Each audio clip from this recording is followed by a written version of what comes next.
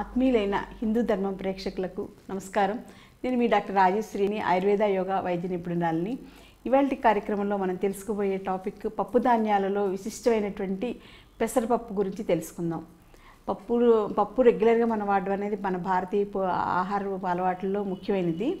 So చాలామంది ఏంటంటే కందిపప్పు పెసరపప్పు వాడడం అనేది రోజు కూడా చూస్తూ ఉంటాం అనమాట ఆహారంలో మధ్యాహ్న భోజనంలో పప్పు అనేది కంపల్సరీగా చాలా మందిళ్ళల్లో ఉంటుంది. సో ఈ పెసరపప్పు గురించి ఔషధ విలువలు ఏంటి? ఎటువంటి వ్యాధుల్లో ఎక్కువగా ఉపయోగించుకోవచ్చు?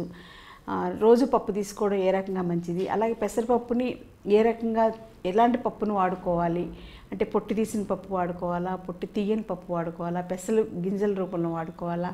ఇవన్నీ కూడా మనం పెసరపప్పు గురించి వివరాలన్నీ కూడా ఇవాళ కార్యక్రమంలో తెలుసుకుందాం. ముఖ్యంగా ఈ పెసరపప్పు గురించి ఆలోచిస్తే కనుక పెసరపప్పు మధుర రసం కలిగి ఉంటుంది తర్వాత లఘుగుణం కలిగి ఉంటుంది తర్వాత రోక్ష గుణం కలిగి ఉంటుంది తర్వాత శీతవీర్యంగా ఉంటుంది. అంటే పెసరపప్పుని తీసుకోవడం వలన మనకి శరీరానికి చలవ చేస్తుంది అనమాట ఇంకొక విశిష్టమైనటువంటి విషయం ఏంటంటే పెసరపప్పు కంటి చూపుని మెరుగుపరుస్తుంది. సో కంటి చూపు ప్రాబ్లమ్స్ ఇప్పుడు ఈ రోజుల్లో పసిపిల్లల దగ్గర నుంచి పెద్దవాళ్ళ వరకు చాలా కామన్ ప్రాబ్లమ్స్లోకి ఏంటంటే కంటి చూపు తగ్గిపోవడం. కంటి చూపు తగ్గిపోవడం అంటే కళ్ళద్దాలతో మేనేజ్ చేసుకోవచ్చు. కానీ ఈ మధ్య కాలంలో ఏంటంటే కంటి చూపుతో పాటు తగ్గడంతో పాటుగా పూర్తిగా అంధత్వం అనేది చాలా మందిలో చూస్తున్నాం. అంటే రెటినైటిస్ పిగ్మెంటోజా అని చెప్పేసి టెరీజియం అని గ్లాకోమా అని ఇలాంటి ప్రాబ్లమ్స్ రావడం వలన క్రమక్రమంగా కంటి చూపు పూర్తిగా యువతలో కూడా చూస్తున్నాం. చిన్నపిల్లల దగ్గర నుంచి యువత జాబ్ చేసుకుంటున్న వాళ్ళలో కంటి చూపు పూర్తిగా పోవడం వల్ల వాళ్ళకి మొత్తం వాళ్ళ డైలీ యాక్టివిటీస్ కానీ వాళ్ళ ప్రొఫెషనల్ యాక్టివిటీస్ కానీ అన్నీ కూడా మిస్ అవ్వడం చాలా మందిలో చూస్తున్నాం. సో మనకి తెలిసిన వాటిల్లో ఏంటంటే కంటి చూపుని మెరుగుపరుచుకునే ఆహారపు అలవాట్లలో పెసరపప్పు కూడా ఒకటి అనేది మనం గుర్తుంచుకోవాలి.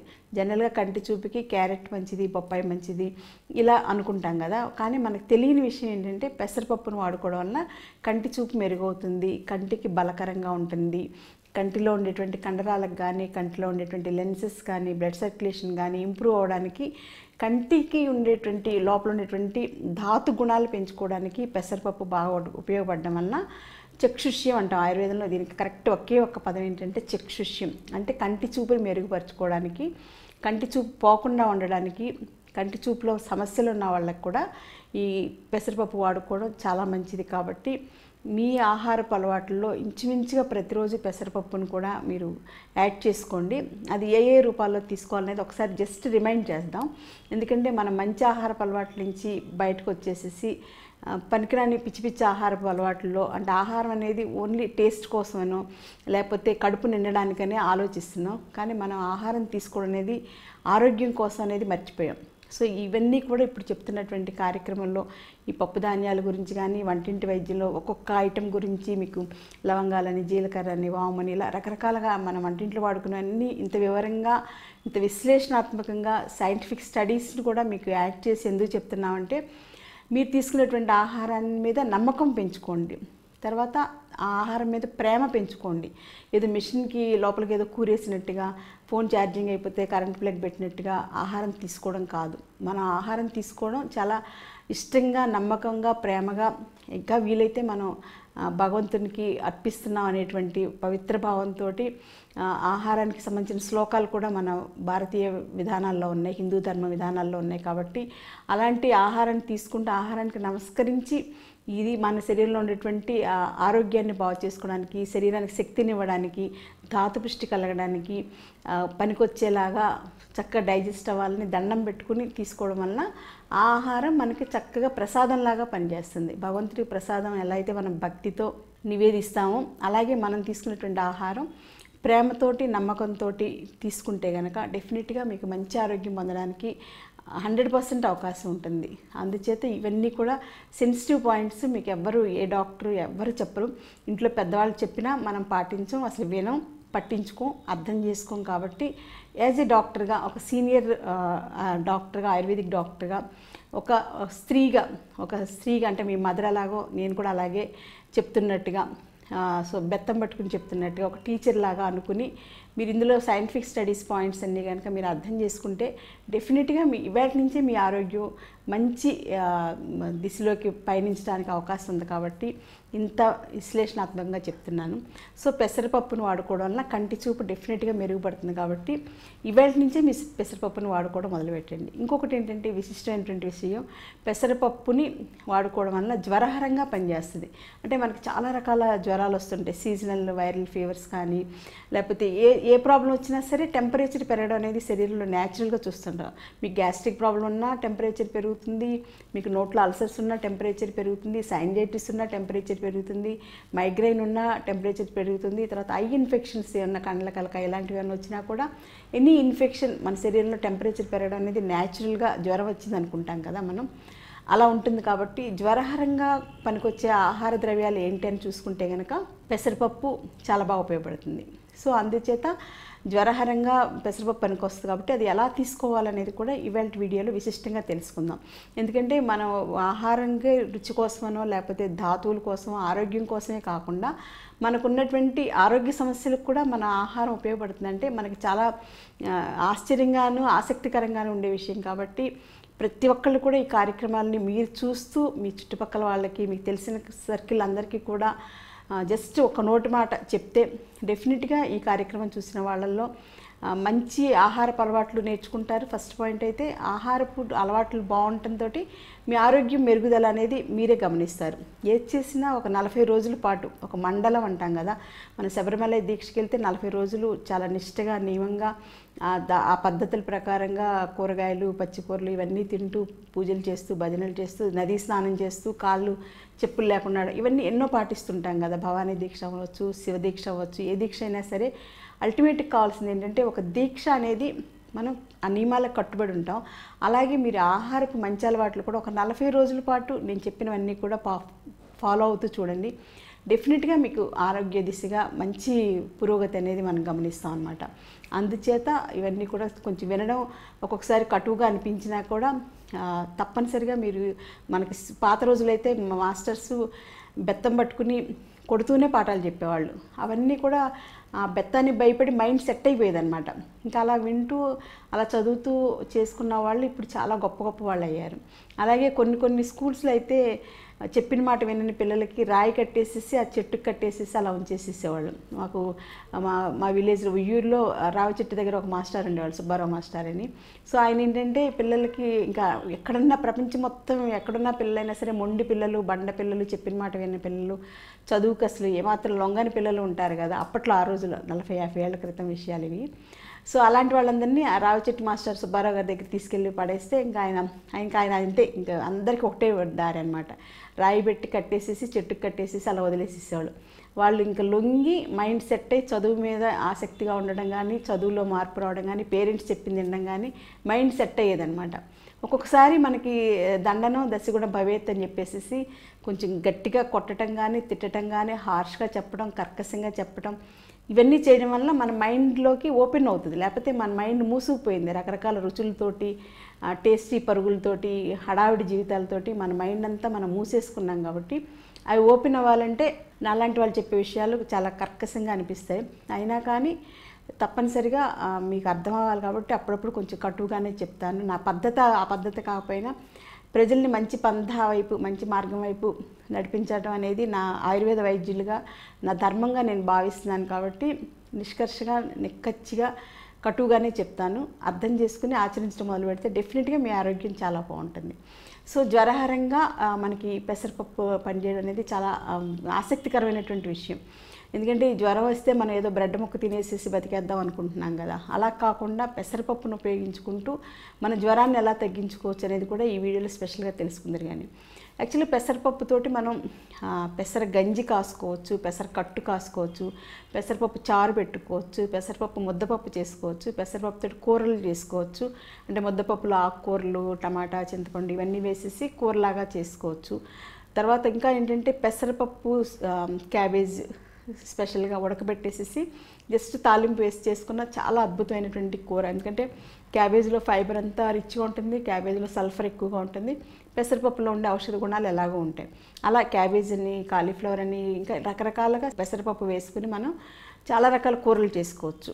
ఇవన్నీ ఒక రెసిపీస్ ఒక్కొక్కటి కూడా వివరించడానికి ప్రయత్నం చేస్తాను. ఇంకా టేస్టీ ఫుడ్స్లోకి వస్తే ఏంటంటే పెసరపప్పుతోటి పెసలతోటి దోశలు. ఈ పెసలు ఇలాగా మనకి ఇలా చూడండి ఎంత చిన్నగా ఎలా ఉన్నాయి చూడండి. చాలా చిన్న చిన్న పెసలు అనమాట అది కూడా కలర్ కూడా డార్క్ ఆకుపచ్చ రంగులో ఉన్నాయి ముద్ర ఆకుపచ్చ రంగులో ఉన్నాయి.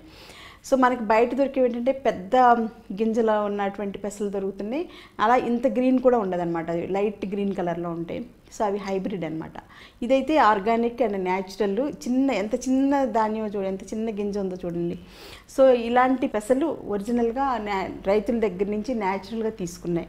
సో ఇవి మంచిది. అలాగే పెసలు నలుపు రంగు ఉంటుంది ముదురాకుపచ్చ ఉంటుంది ఆకుపచ్చ ఉంటే పసుపు పచ్చ నాలుగు రంగులు ఉంటాయి అన్నమాట అన్నిటిలోకి నలుపు పెసలు బాగా మంచిది.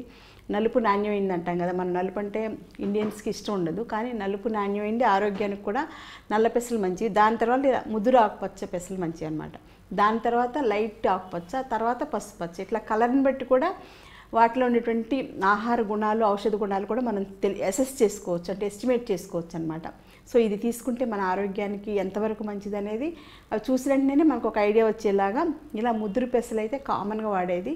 ఇవి ట్రై చేయండి. ఇవి చాలా మంచిది. ఒకవేళ మీకు దొరికితే నల్ల పెసలు నల్ల పెసలు కూడా వాడుకోవచ్చు. అవి రెండే మంచివి. పసుపచ్చ పెసలు కానీ లైట్ గ్రీన్లో ఉండేవి. హైబ్రిడ్లా ఎంతలా ఉన్న పెసలు మంచివి కాదు కాబట్టి అవన్నీ తగ్గించండి. మీరు వాడడం తగ్గించేస్తే ఆటోమేటిక్గా రైతులు పండించడం కూడా మానేస్తారు. మనం తింటూ ఉంటే వాళ్ళు అవే పండిస్తారు. ఎందుకంటే హైబ్రిడ్ని పెంచడం ఈజీ. మందులు పెస్టిసైడ్స్ ఇవన్నీ చల్లేస్తే ఫర్టిలైజర్స్ ఈజీగా అయిపోద్ది క్రాప్. సో అందుకని వాళ్ళు అది చేస్తారు. మనం అవి వాడడం మానేసి ఆర్గానిక్వే కావాలంటే రైతు తప్పనిసరిగా గోదావరి వ్యవసాయం చేస్తారు. ఫర్టిలైజర్స్ పెస్టిసైడ్స్ లేకుండా పండిస్తారు. సో అలాంటి ఆహారం మనం తీసుకోవడం వల్ల శరీరానికి చాలా మంచిది అనమాట మనలో ఇమ్యూనిటీ పెంచుకోవడానికి చాలా బాగా పనిచేస్తుంది. అదే మీరు ఫర్టిలైజర్స్ పెస్టిసైడ్స్ వేసినటువంటి ఆహారం తీసుకుంటే ఇమ్యూనిటీ అంతా బాగా తగ్గిపోతుంది అనమాట అంటే ఆ కెమికల్స్ అన్నీ శరీరం అంతా నిండిపోయి మీకు ఉండేటువంటి ధాతువుల బలం తగ్గిపోతుంది త్రిదోషాలు కూడా వి- విషమ రూపంలోకి వచ్చేసేస్తాయి సప్తధాతువులు కూడా ఇర్రెగ్యులర్ అయిపోతాయి. ఇలా మా త్రిబలాలు కూడా ఇర్రెగ్యులర్ అయిపోతాయి. శరీరం అంతా కూడా అస్తవ్యస్తంగా తయారవుతుంది అనమాట మనం కెమికల్స్తో రసాయనాలతో ఎరువులతో ఫర్టిలైజర్స్తో కూడినటువంటి పెస్టిసైడ్స్తో కూడినటువంటి ఆహారం తీసుకోవడం అనేది శరీర ఆరోగ్యానికి అసలు ఏమాత్రం మంచిది కాబట్టి కాదు కాబట్టి అవి వా- పూర్తిగా మానేసింది. ఇలాంటి న్యాచురల్ ఆర్గానిక్ పెసలు మాత్రమే మీరు వాడడం చాలా మంచిది. సో ఈ పెసలతోటి మనకు తెలిసిందే కదా పెసరట్లు వేసుకోవడం అనేది. కామన్గా అందరూ ఇంట్లో చేసేదే. సో రాత్రిపూట పెసరపప్పు పెసలు నానబెట్టేసేసి అందులో మిక్సీ కానీ రోట్లో కానీ రుబ్బేటప్పుడు కొంచెం అల్లం కొంచెం పచ్చిమిరపకాయలు కొంచెం జీలకర్ర కూడా వేసుకుంటారు కొంతమంది. వేసేసి రుబ్బేసేసుకుని చక్క మెత్తగా వాటితో పెసరట్లు వేసుకోవడం. పల్లెటూరులో మన చిన్నప్పటి నుంచి చూసిందే అది ఆ- పెసరట్లు చాలా రుచిగా ఉంటాయన్నమాట.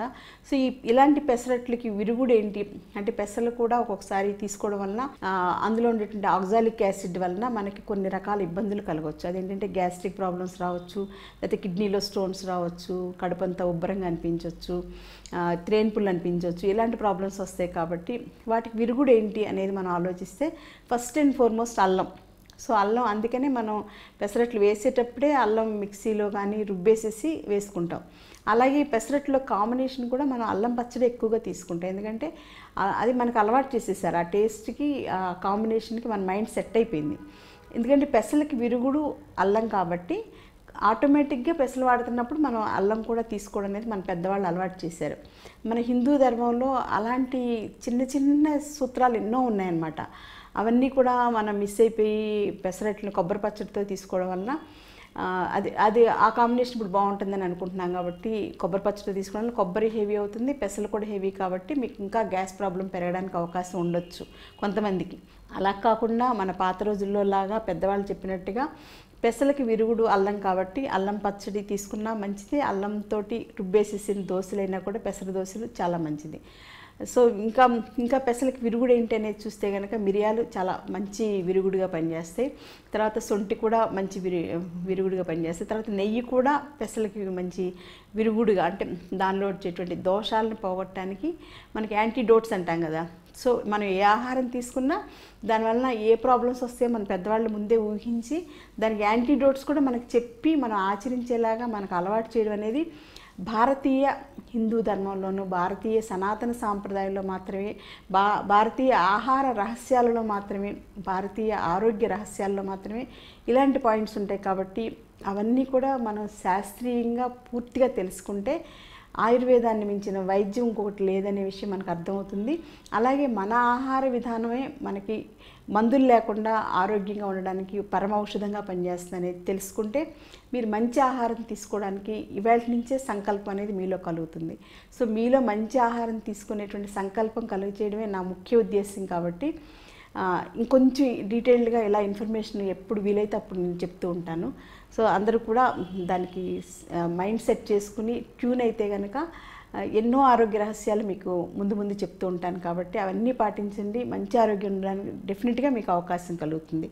సో ఈ పెసలతోటి పెసరట్లు చేసుకుంటాం కాబట్టి పెసరట్లోకి అల్లం వాడుకోవడం అనేది యాంటీడోట్గా పనిచేస్తుంది. పెసలు నానబెట్టుకుని పునుగుల్లాగా కూడా వేసుకోవచ్చు. అవి కూడా అంతే. కొంచెం అల్లం పచ్చిమిరపకాయలు ఉల్లిపాయలు వేసేసి పునుగుల్లాగా మన మామూలు పునుగులు ఎలా వేసుకుంటాం అలా వేసుకుంటాం. అది కూడా చాలా మంచిది. పెసర గారెలు కూడా చేస్తుంటారు కొంతమంది. అలా కూడా చేసుకోవచ్చు. సో ఇవి ఏంటంటే టేస్టీ రెసిపీస్ అన్నమాట. హెల్త్ కోసం అయితే మాత్రం మీరు తెలుసుకోబోయేది పెసరపప్పుతో చేసినటువంటి గంజి.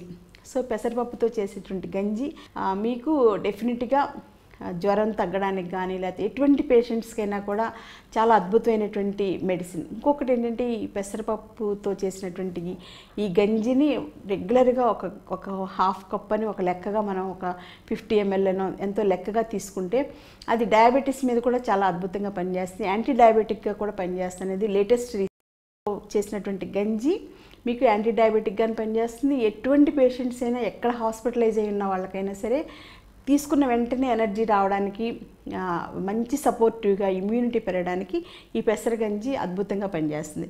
సో ఈ పెసరపప్పు చూశారు కదా ఇటువంటి పెసల నుంచి తయారు చేసినటువంటి పెసరపప్పు అనమాట ఈ పప్పు కూడా చాలా చిన్న బద్ద ఉంది చూసారా ఎందుకంటే ఇది కూడా ఆర్గానిక్ పెసరపప్పు చాలా చిన్న బద్ద.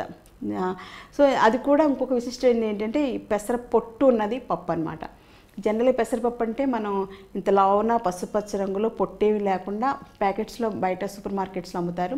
దాన్ని తెచ్చుకుని మనం వాడుకుంటాం. ఎందుకంటే పప్పు పొట్టు తీసే పని ఉండదు కాబట్టి ఈజీగా ఉంటుంది అనుకుంటాం. కానీ పొట్టున్నదే బలం. సో పెసలతోటి ఎలా అయితే పప్పు పొట్టు ఉంటుందో అలా పప్పుకు కూడా పొట్టు ఉండాలన్నమాట. ఆ పొట్టున్నదే మన శరీరానికి పట్టు పెరుగుతుంది. శరీర పట్టు పెరగాలంటే పొట్టున్న పెసరపప్పు వాడుకోవడం మంచి ఆరోగ్య విధానం కాబట్టి అటువంటి ఆహారపు విధానాలే మనం అలవాటు చేసుకుందాం. సో ఈ పొట్టుని ఈ పొట్టున్న పెసరపప్పుని మనం నానబెట్టి కొంచెం ఒక గంట ముందు నానబెట్టేసిస్తే ఆ పొట్టు అంతా కొంతవరకు పోతుంది కొంచెం పొట్టు ఉంటుంది. ఆ పొట్టు ఉన్నదే వాడుకోవాలన్నమాట. పూర్తిగా నున్నగా గుండులా చేసేసి ఆ పొట్టు వాడు ఆ పప్పు వాడుకోక్కర్లేదు. సో దాన్ని ఉడకబెట్టేసేసి అది బాగా బెడ్ రిడెన్ పేషెంట్స్ అనుకోండి బాండ్స్ అయిన వాళ్ళు కార్డియాక్ సర్జరీస్ అయిన వాళ్ళు లేకపోతే ఏదైనా పోస్ట్ ఆపరేటివ్ కానీ పోస్ట్ యాక్సిడెంటల్ ట్రామా కానీ ఇలాంటి వాళ్ళకి ఆ పెసరపప్పులో కొంచెం బియ్యం అది ఆ బియ్యం కూడా వీలైతే ముడి బియ్యం వేసుకోండి. సో ఇవి రెండు కలిపేసేసి ఉడకబెట్టేసేసి ఎక్కువ నీళ్ళు పోసి ఉడకబెట్టాలి. దాన్ని మనం వార్చేసేస్తే రసంలాగా వస్తుందన్నమాట. సో ఈ రసంలో కొంచెం ఉప్పు కానీ నిమ్మరసం కానీ వాళ్ళ టేస్ట్ షుగర్ కానీ బెల్లం కానీ మీకు ఏది టేస్ట్ వీలుగా ఉంటే అది పేషెంట్ కండిషన్ బట్టి. డయాబెటీస్ వాళ్ళకి ఎలాగో బెల్లం పంచదార వాడకూడదు. సో కొంచెం ఉప్పు కొంచెం నిమ్మరసం ఒక చుక్క ఒక డ్రాప్ అనమాట వేసి దాన్ని పెసర కట్టులాగా పెసర గంజి అంటాం అనమాట అలాగ ఇస్తే కనుక ఎటువంటి హాస్పిటలైజ్ అయిన పేషెంట్స్కైనా సరే అది డయాబెటీస్ అవ్వచ్చు డయాబెటిక్ న్యూరోపతిలో ఉండొచ్చు గ్యాస్ట్రిక్ అల్సర్స్కి పోస్ట్ ఆపరేటివ్ అయి ఉండొచ్చు లేకపోతే ఇంకా ఎటువంటి ప్రాబ్లం అయినా సరే ఏ కార్డియాక్ ప్రాబ్లమ్స్ అవ్వచ్చు పెరాలసిస్ వచ్చి హాస్పిటలైజ్ అవ్వచ్చు గైనిక్ ప్రాబ్లమ్స్ తోటి హాస్పిటలైజ్ చేయొచ్చు ఏదైనా సరే హాస్పిటలైజ్ అయిన వాళ్ళకి ఈ పెసరగంజి అత్యుత్తమైనటువంటి ఆహార రసం సో మనం ఏంటంటే పేషెంట్స్ జనరల్గా అసలు అసలు ఫుడ్ గురించి సరైన కేర్ ఉండదు. హాస్పిటల్ ఏంటంటే అలాగా వాళ్ళు ఐసీయూలో ఉంటారు వాళ్ళు ఏవో మిల్కో మజ్జిగో ఏదో ఇస్తూ ఉంటారు లేకపోతే సెలైన్ పెట్టేస్తుంటారు. సెలైన్ మీదే ఎక్కువగా పేషెంట్ లైఫ్ అనేది ఉంటుందన్నమాట. ఆక్సిజన్ పెట్టడం సెలైన్ పెట్టడం ఇట్లా ఇట్లాంటివే ఉంటాయి. కానీ ఆహారం గురించి సరైనటువంటి కేర్ అసలు ఐసీయూలో కానీ ఇన్ పేషెంట్స్కి ఉన్న వాళ్ళకి చాలా తక్కువగా ఉంటుంది. నేను నేను అలోపతిక్ హాస్పిటల్లో టెన్ ఇయర్స్ వర్క్ చేశాను. ఆ ఎక్స్పీరియన్స్తో చెప్తుంటాను అనమాట సో మా మేడం కూడా అదే బాధపడేవాళ్ళు వీళ్ళకి సరైన డైట్ కేర్ ఉండదమ్మా కొంచెం స్పెషల్గా అటెండ్ అవ్వమ్మా అని నాకు చెప్తుండేవాళ్ళు అనమాట స్పెషల్గా. సో నాకు అప్పటి నుంచి అంటే మేబీ థర్టీ టూ ఇయర్స్ నుంచి కూడా పేషెంట్స్కి ఫుడ్ ప్లానింగ్ అనేది నాకు ఒక పార్ట్ కింద అలవాటు అయిపోయింది అంత మంచి డాక్టర్స్ దగ్గర వర్క్ చేయడం వల్ల నాకు ఒక మంచి సిస్టమేటిక్ ఇది అనేది అలవాటు అయిపోయింది అనమాట సో ఈ పెసరగంజి బియ్యమును ఇవి కలిపినటువంటి చేసినటువంటి పెసరగంజి అత్యుత్తమైనటువంటి బెడ్రెడెన్ పేషెంట్స్కి బెస్ట్ అనమాట ఇంకా. దాని తర్వాత ఏంటంటే పెసరకట్టు.